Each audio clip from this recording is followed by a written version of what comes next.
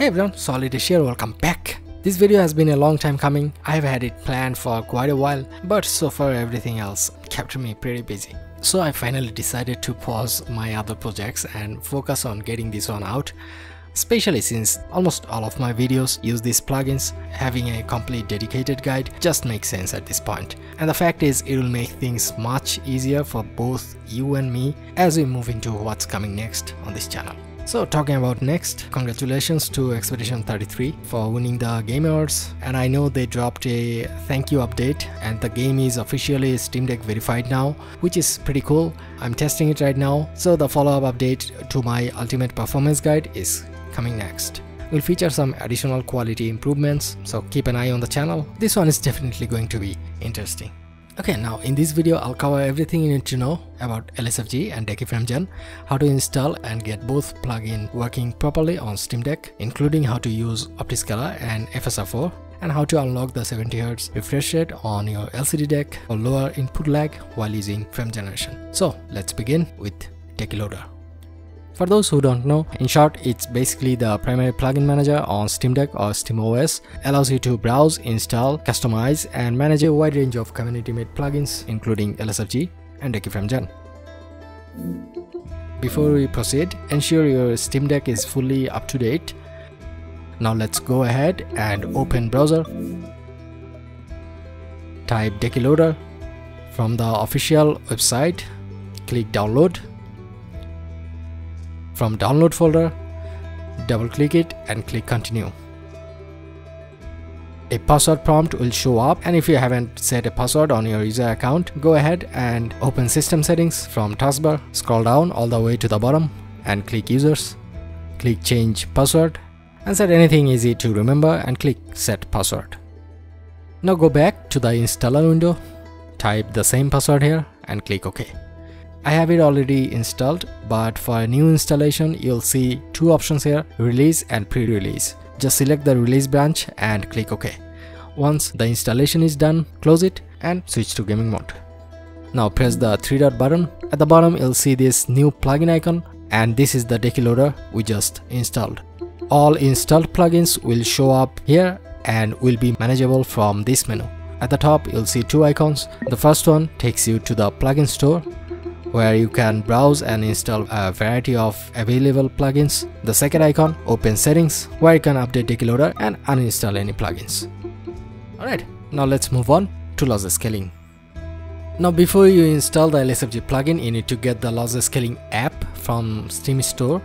The plugin is free, but the app is paid and costs about 7 bucks. Sometimes goes half the price on sale, which is totally worth it for Steam Deck, even if you are not too excited for FrameGen, this app with LSFG plugin can sometimes pull some real magic. And a great example of that is my Expedition 33 Ultimate Performance Guide. If you have seen it, you know exactly what I'm talking about.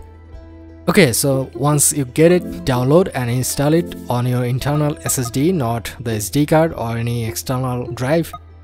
I already have the plugin installed, so let me quickly show you how to do a clean uninstallation first. From the plugin settings, scroll all the way to the bottom and click uninstall LSFG VK. Then go back, go to DeckyLoader settings. From plugins tab, click the three dot icon next to Decky LSFG VK and select uninstall. This is how you do a clean uninstallation. Alright, now let's reinstall it. Head to the plugin store, search for LSFG. Here it is click install from here click install LSFG it is start is recommended so let's do that now I'm not too technical but I'll try to quickly explain all these LSFG options in the quickest and simplest way I understand based on my experience this way you'll get the basics and be able to experiment with different games on your own so the very first option is FPS multiplier, basically the switch to turn frame generation on. You can choose to double, triple or quadruple your FPS, but on Steam Deck 2x is usually the best to avoid excessive lag or visual glitches. You can also save different profiles with your custom preset settings, So switching to specific settings uh, before launching any game is super quick and you don't have to change everything every time. Next is FluidScale. It basically controls how carefully LSFG figures out motion when multiplying your FPS. In theory, lowering it can improve performance a bit, but honestly I haven't really noticed any difference, it just makes the image quality worse. Higher values gives the best image and 80% is what the plugin devs recommend. I usually keep it there, though bumping it up to 100 can sometimes slightly reduce ghosting or artifacts, but it totally depends on the game. Keeping it at 80 does the job just fine. Then there is base FPS cap. I just keep it off because with FIFO VSync here turned on, the game's FPS is already locked to half your screen refresh rate so on a 60Hz display, it locks at 30 fps, 70Hz is 35 and on 90Hz OLED display, it's 45 fps, which then doubles with the 2x multiplier. And then we have performance mode. I mostly keep it on because it keeps LSFG system load lighter so it doesn't affect game performance much. I only turn it off if a game is light runs very well and has a high base FPS. In that case, turning it off can give you a slightly better image and overall frame generation quality. HDR mode. Well, I guess we are all pretty much familiar with this one. Turn it on if you have an OLED and if the game supports it enable WSI. So if a game looks choppy or behaves weird, turning this on can sometimes fix it. I haven't personally run into those kind of issues so far, so I just keep it off. The next one I keep it on. It's for older games that are only 32 bits supported. For example, LSFG won't work on all those Batman Arkham games, Tomb Raider series, and many other older games. So for classics, you need this one enabled disable Steam Deck mode. Some games hide graphic settings on Steam Deck that you can normally see and access on PC and I hate it when they do that. Just unnecessary crap. It just makes tweaking harder. So this option simply unlocks everything. I usually keep it on unless I need to use the native Steam Deck graphics preset in a game, then I turn it off. MangoHud workaround. It basically does what it says here. For example, if you launch a game from desktop mode, turning this on makes the MangoHud FPS overlay shows up in game, which can be useful. It can also help with some issues when using 2x frame generation. For me, I haven't really needed it, so I keep it off disable VK Basalt. If you are using any reshade mods or other Decky plugins, they can sometimes conflict with LSFG, so disabling this helps prevent those conflicts enable Zink for OpenGL games. Again this one mostly for older games that only supports OpenGL instead of DirectX or Vulkan so use it only if needed. And finally all you need to do is copy this launch option, open the game's properties, paste it into the launch option. And once you hit play, frame generation should kick in. Alright, next let's move on to Decky FrameGen. So Decky FrameGen basically lets Steam Deck use some features that normally works on NVIDIA GPUs. For example, DLSS upscaling, NVIDIA frame generation, Reflex low latency, and it does that by automatically installing a mod called OptiScaler. It can replace native upscalers, create a pass-through, and even enable FSR4 in games and devices like Steam Deck that don't officially support it. This is the simplest way I can phrase it. Again, let me show you how to do a clean installation first. Since I have it already installed, before removing the plugin, it's best practice to first remove it from any game where you are currently using the DeckyFrameGen command. A fresh install or plugin update can make the previous version incompatible, which may prevent the game from launching. So to do this, copy the unpatch command and paste it into the game's launch option.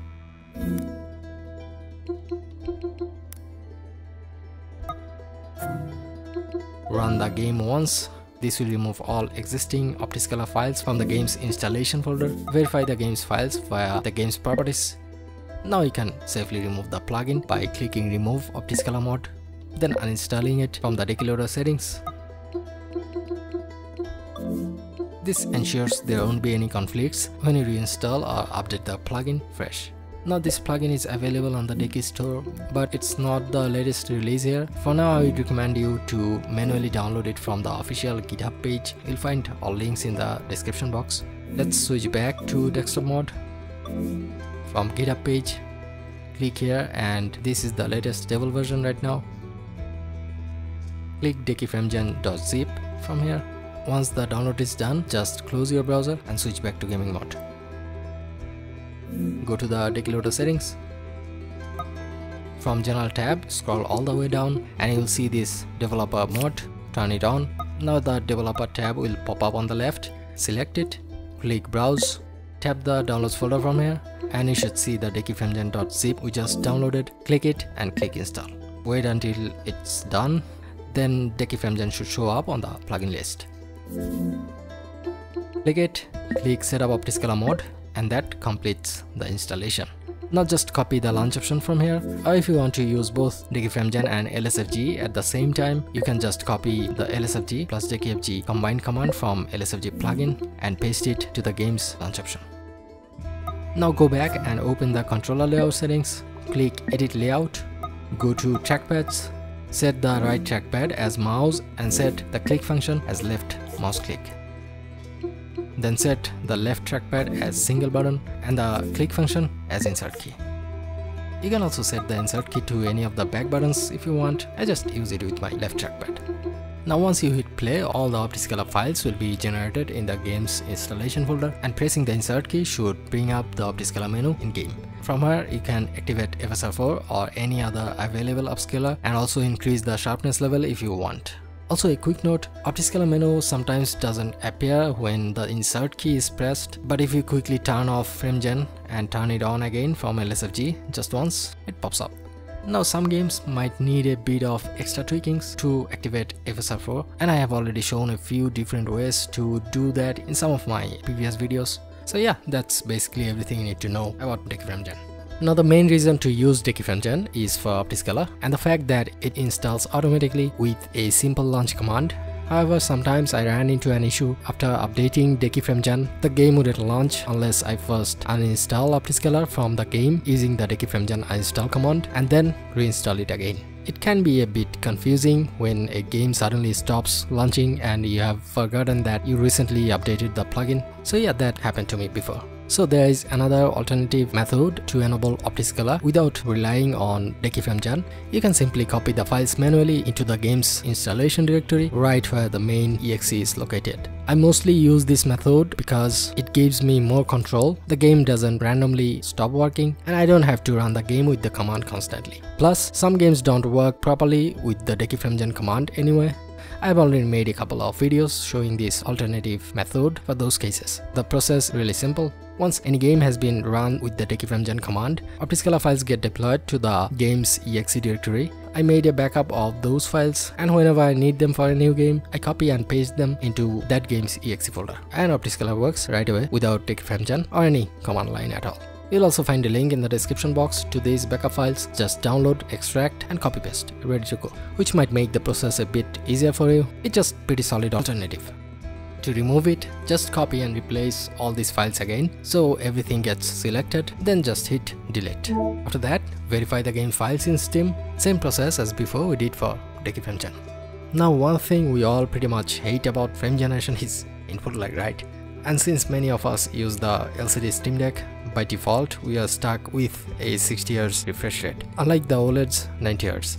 The problem with 60Hz is that when you use LSFG, the FPS gets locked to half the screen's refresh rate and generating frames at a locked 60 FPS usually creates noticeable input lag, where any refresh rate higher than 60 improves things a lot. So this next trick for those who have the LCD Steam Deck, it basically overclocks your native 60Hz screen to 70Hz and I promise you'll feel a big improvement in input lag. I've been using it for a long time and in my opinion, it's a must-have feature for LCD deck owners. The script is called Refresh Rate Unlocker. The original writer of this script shared it on his YouTube channel, 10 Minute Steam Deck Gamer. Huge shout out to him for the great work.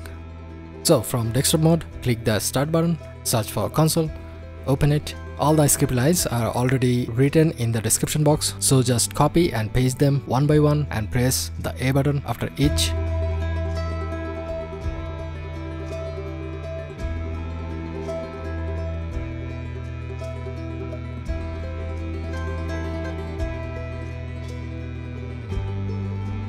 When you get this confirmation prompt, I'd suggest you to read it carefully and then press yes. Your deck will automatically switch to gaming mode and if you check the performance tab, you should now see it running at 70Hz. As simple as that.